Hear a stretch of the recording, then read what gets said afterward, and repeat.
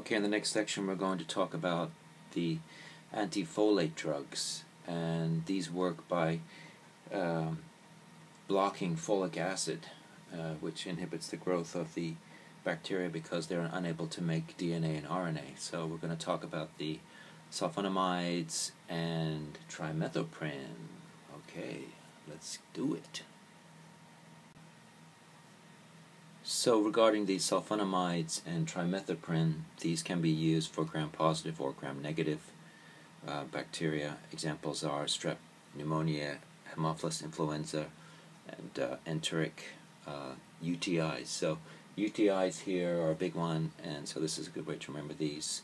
Uh, side effects, nausea, vomiting, diarrhea, hemolytic or aplastic anemia, thrombocytopenia, skin rash, or Stevens-Johnson syndrome.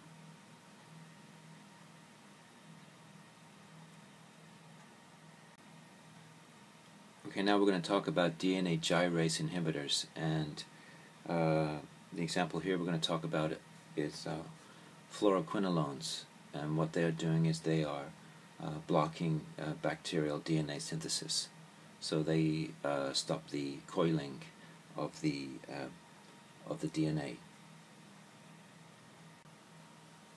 Okay, so talking about the fluoroquinolones, there are two generations which differ in the in their pharmacokinetics and spectrum. So first we have the first generation, which is ciprofloxacin, uh, which works for staphylococci, uh, for example, uh, MRSA, and uh, most anaerobic gram-negative bacilli. So, for example, uh, Pseudomonas, but it's not so good in working against um, streptococci. And the newer generation um, is the same has the same spectrum as the first uh, generation, except against Pseudomonas, and um, uh, they have increased coverage against uh, streptococci, pneumococci, myco, um, and uh, Haemophilus of influenza.